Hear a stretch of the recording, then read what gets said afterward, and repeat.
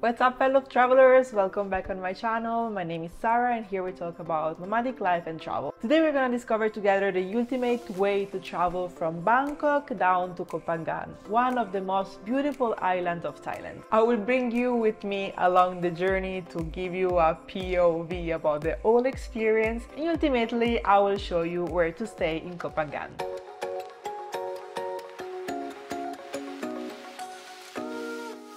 Start with the basic. There are different options to go from Bangkok to Koh Phangan, but the most efficient and most chosen option is a mix between taking a bus and a ferry. First thing first, you need a ticket. I always use One2Go Asia, which is a website that allows you to book uh, the trains or ferries to reach different locations around Southeast Asia. I will leave the link of the website down below. Another way to get a ticket is to go directly to a bus station and check if they have the ticket for the destination destination you are looking for. Often One2Go Asia is slightly more expensive than go directly to a local bus stop, but it take away the time and the stress of having to actually go. In this case, to go from Bangkok to Phangan, it cost us 41 euro plus minus and uh, we are able to get with us a big luggage that we can put under the bus and then keep with us a daily backpack. The total journey from Bangkok to Koh Phangan was of 14 hours. First 12 hours are the one that goes through the night which uh, goes from Bangkok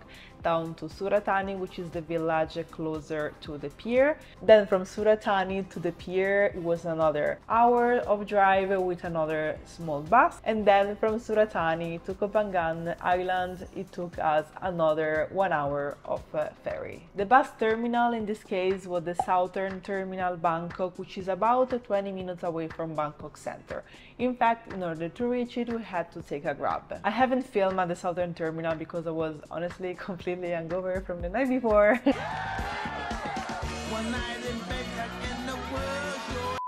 Just arrived, we did a very fast check-in and then we headed to 7-Eleven which was inside the Southern Terminal to get some snack for the bus. Usually in this bus journey they already give you water and in this case they also give us pillow and a comfy blanket. Ah, and also cookies and this is something very very special. There are some tips and tricks that I feel to recommend you to follow the first one is that even though you're thirsty, avoid drinking too much water on the bus because then you will need to go to the toilet. And yes, there is always a toilet on the bus, but uh, yeah, it's not the best one. So I will recommend you to avoid drinking too much, you know. But of course, if you're thirsty and you want to drink and then you need to go to the toilet, please always have with you in your backpack and not only for the bus journey, but in general when you travel in Southeast Asia, always have with you some toilet paper. Since you're gonna spend a long time in this bus, uh, it would be great for you to have some comfy clothes. I always like to travel with my trainers, with a white t-shirt and my pulley, and uh, that's it. Last but not least, of course, grab some snack because this journey is long. You might get hungry, you might get bored, and when you're bored, at least I got hungry. And of course, if you need some entertainment, download before some Netflix or your favorites playlist on Spotify because even though some buses said that they have Wi-Fi on board, usually it never works. The bus usually do a stop during the night and this one was at 1 a.m. You can get some food and in this case we also got a voucher for a free food but I was just too sleepy so I just went to the toilet. Something to consider is that in these sleeping buses you really won't get a night of sleep so if you are worried about that I will uh, recommend you to get some sleeping pills for the journey. After 12 lovely hours on the sleeping bus, we arrive around 6 a.m. on Surat Thani, the small village where we had to do another check-in for the second part of the journey. In this place they give us some sticker with the name of the island that we are gonna go because around Koh Phangan there are different islands such as Koh Samui and Koh Tao so it's important that they divided all the travel based on the place that it goes and we wait as for the van that will bring us to the pier and so this is how the journey went. Bus seems to have seen better times are on the second bus of the day and we're gonna go in direction of the pier. The journey I hope is gonna be not too long because we're all pretty tired. A few minutes later. Bus is broken so we're just stopping around the middle of the street and we are just jumping up on some van didn't miss that. Not really gonna fit into this one. What do you guys think about this one? I can't believe it. That's so classic. So classic. Yeah. We just stayed on the street for us the way to the pier. This is very fancy. You know, I'm glad that the bus broken. We elevate the class. All right. Ah. Why yeah, What do, did we what? get that one first? We missed the ferry, probably. oh, yeah. Oh, uh, they apparently were supposed to arrive in uh, Koh Phangan at 10.30, but I think this is not go. gonna happen.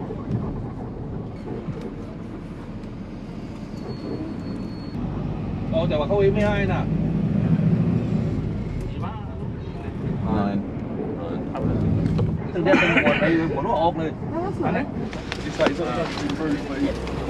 Okay, we made it. Apparently we will have a boat at 9.30. Um, I actually have no clue what time is it. My phone is almost dead.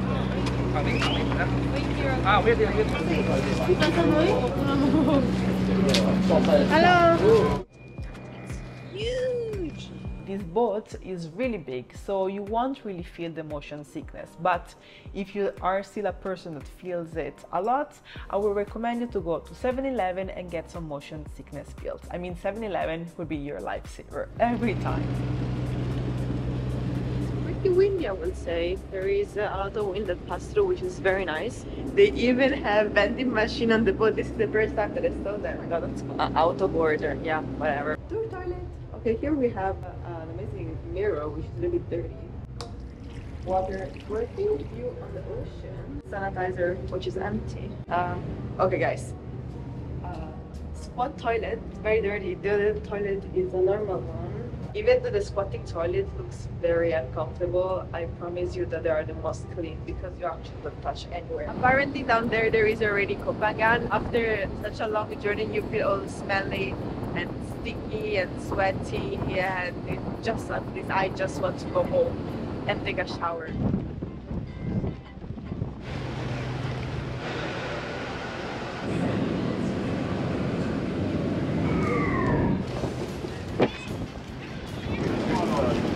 Very random.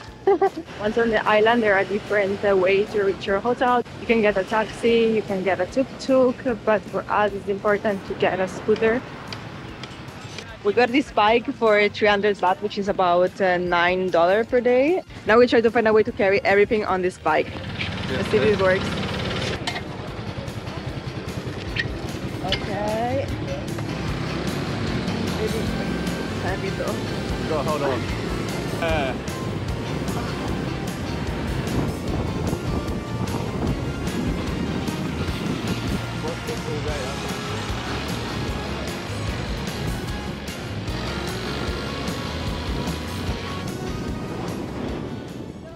you're wondering which part of the island stays, I recommend uh, Thong Sala, which is based on the southern part of the island where all the nightlife and life in general is happening. Okay, we were able to arrive to the hostel, but the problem is like we lost a wheel, it melted.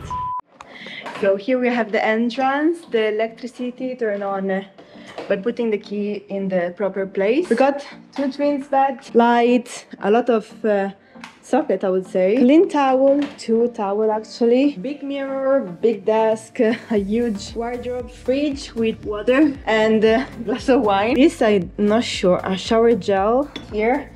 We have toilet, which is very clean, very basic, but just need that shower, double shower actually. We have the waterfall shower and a normal one. I'm very curious to test the pressure because that's always very important when traveling. What's very curious about this room is that we have an extra room randomly placed it here, which I guess, yeah, we will use for as another type of wardrobe without putting the things in the normal wardrobe in order to make it look sno- uh, messy. the smoking.